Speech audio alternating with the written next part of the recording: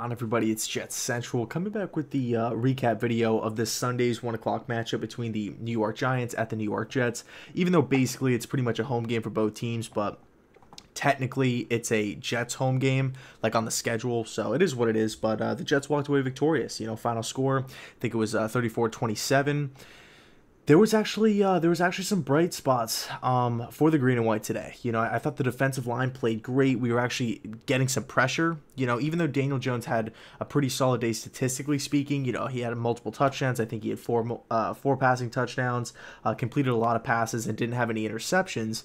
Uh, I, I felt as though the Jets' defensive line was able to kind of get in his head a little bit and just create havoc. They they really did well in the trenches. We stopped the run big time. I mean, Saquon Barkley as considered by many people, you know, one of the best running backs in the league. He I feel as though he was, you know, he was non-existent today. Um, I mean, yeah, he had one really nice play. Um, I think it was in the, yeah, I think it was in the second quarter. Could have even been in the th- early third quarter, but uh, that was pretty much it. You know, Saquon was for the most part quiet, and uh, Darnold played pretty well.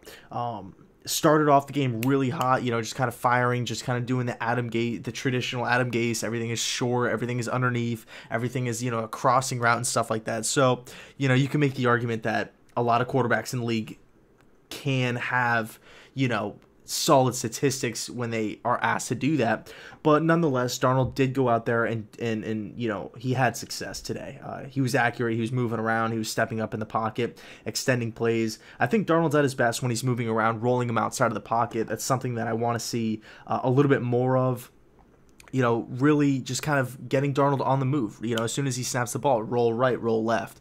Um, he, I, I, that's kind of Darnold's M, been Darnold's mo since uh, since USC, kind of a really good improviser, a guy that's um you know he was labeled as like the Houdini right when he was a Trojan because he would just make spectacular plays off beat off script just improvising and just kind of running around. And it's funny too because he looks he looks um awkward. He doesn't have the prettiest throwing motion. It is kind of loopy.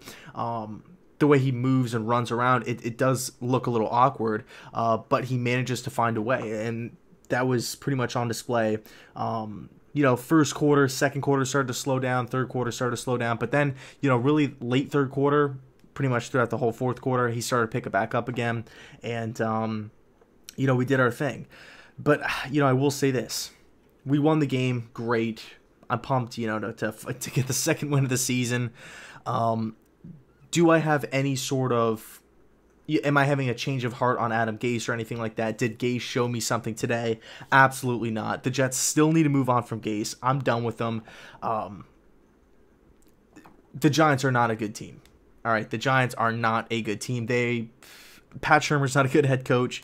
They're starting a rookie quarterback. They have holes on the uh, you know all across the defensive side of the football, especially the wide receiver position as well. So the Giants are not a good team here. Let's not blow this win out of proportion. It's one win against a very, very bad team um, at home. So it is what it is.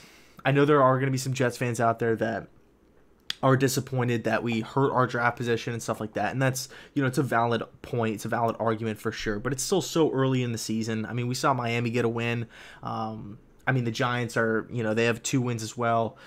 Who else? Um, I think that right now the one one win Atlanta Falcons. I think they're beating the seven win New Orleans Saints. All right, so anything could really happen, and um, excited to see kind of what happens throughout the week um, leading up to the I believe it's the Washington Redskins. So I'll leave it there.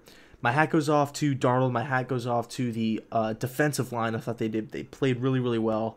Um, you know, guys like Phillips, Quinnen Williams was out there making some plays. I mean, he smacked Daniel Jones pretty hard at the end of the game. That was uh, that was definitely probably my favorite part of the game. But um, uh, yeah, I'll leave it there. So let me know your thoughts down below in the comment section. And as always, good Jets win. Thanks so much for watching, and go Jets.